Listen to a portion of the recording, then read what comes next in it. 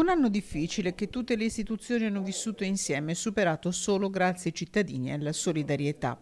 Pensa alle decisioni assunte nella sede dell'ULS 6, poche ore dopo la diffusione della notizia dei primi casi di coronavirus in Veneto, un anno fa, mentre a Vossi vive una cerimonia nel rigido rispetto delle regole, il prefetto di Padova Renato Franceschelli.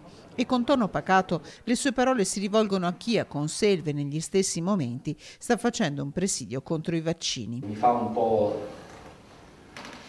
specie, no? insomma anche rabbia, diciamo, usando la parola che in questo momento, mentre noi facciamo questi discorsi qua, qualche chilometro qui in pianura c'è qualcuno che fa uno stand per spiegare perché non mi vaccino. Ognuno di noi ha, un senza, ha una coscienza e un obbligo di responsabilità verso se stesso e verso gli altri che eh, insomma, dovrebbe, con un po' di rabbia, dovrebbe farci pensare anche a qualche decisione un po' più drastica, insomma, quando, quando si trovano delle posizioni stupidamente negazioniste, però per fortuna sono pochi.